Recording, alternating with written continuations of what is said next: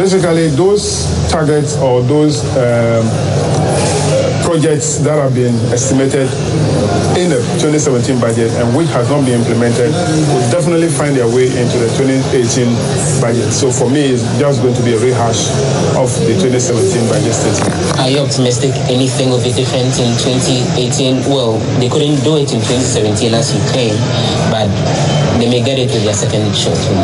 What what what I estimate, uh, what I expect is for the minister to say that we have realized that there are some taxes that we have abolished, which has affected the revenue targets, and for that matter, we are taking a second look at those uh, taxes that have been abolished.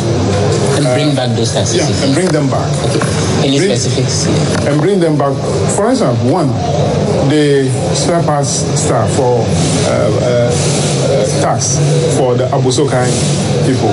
I don't know you use the vehicle, and if you patronize the spare parts at Abossey Okai, have you seen any change in the prices of these spare parts?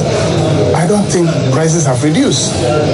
So that policy is not good. It's, it's denying government revenue and spreading that revenue in the pockets of the traders.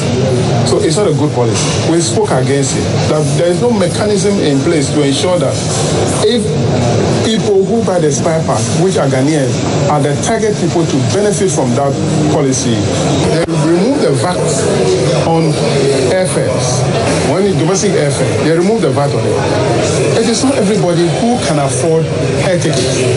It is some particular class of people who can afford air tickets. So do you think, for example, that the tax on domestic airfare that was removed should probably be It reintroduced? should be introduced. It should be reintroduced because the class of people that is affected can afford. Where the tax cannot be will affect the poor that we know that they are already suffering and you are taxing them more. That is what the difficulty is.